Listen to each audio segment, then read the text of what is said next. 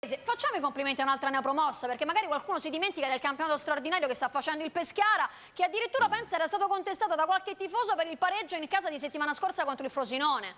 Ma i tifosi del Pescara sono tifosi molto caldi, molto esigenti quindi qualcuno certe volte si allarga un po' eh, perché sogna e bisogna invece fare i complimenti alla società per come ha strutturato Di Francesco,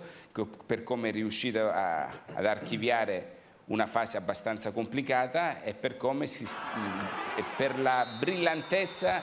che mi sembra il tornato il Pescara quello giusto soprattutto in trasferta ha vinto delle partite con una personalità incredibile, oggi come a Piacenza ha giocato, io mi ricordo che anche nel momento migliore del Novara il Pescara con Maniero ha fatto delle partite importanti anche a Novara, cioè, questa è una squadra che ha un, un DNA che non improvvisa, che comunque adesso ha trovato la continuità che aveva perso nelle ultime giornate, che ha una struttura importante, un portiere importante eh, come Pin in scadenza di contratto, gente esperta come Cascione, come Tognozzi che adesso oggi è partito dalla panchina perché ha avuto qualche problema. E Sansovini è sempre stato un attaccante importante, aveva perso un po' il, la continuità e la ritrovata, Soddimo è una rivelazione, Bonanni, noi ci ricordiamo Bonanni di Vicenza e poi il Bonanni che fare, ha dovuto fare il triplo salto quasi all'indietro da Palermo alla Serie C e ripartire, ritornare, ma Bonanni il talento l'ha sempre avuto, però c'è molto di Di Francesco, c'è molto di Di Francesco, noi quando alla fine della stagione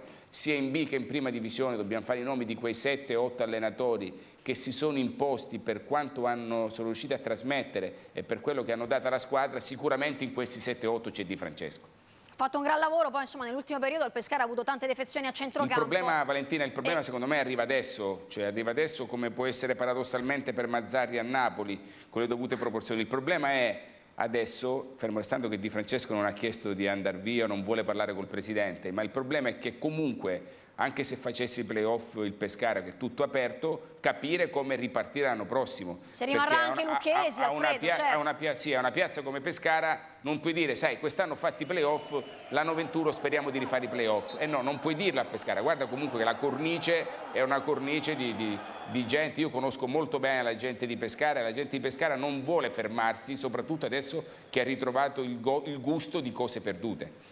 Alfredo, adesso entriamo Qui c'è Di Francesco che sta facendo un gran campionato. Nel momento